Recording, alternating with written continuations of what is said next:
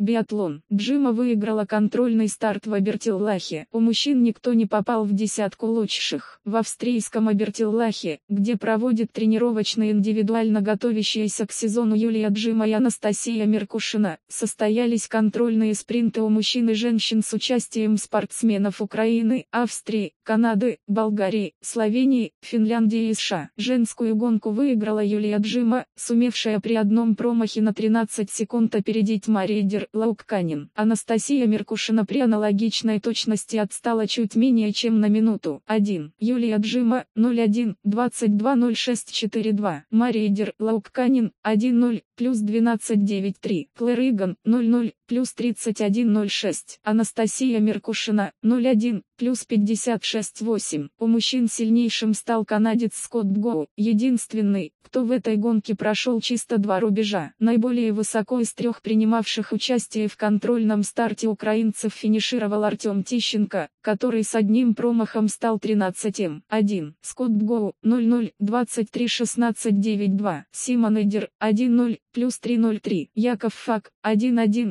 плюс 11,3,13. 3 Артем Тищенко, 0,1. плюс 1,09,7,15. Сергей Семенов, 1,2. плюс 1,33,7,20. Виталий Кильчицкий, 0,4. плюс 2,01,2. Ранее сообщалось, что Петгрушная заняла второе место в контрольной гонке в Швейцарии по материалам сайта Newsgro.com.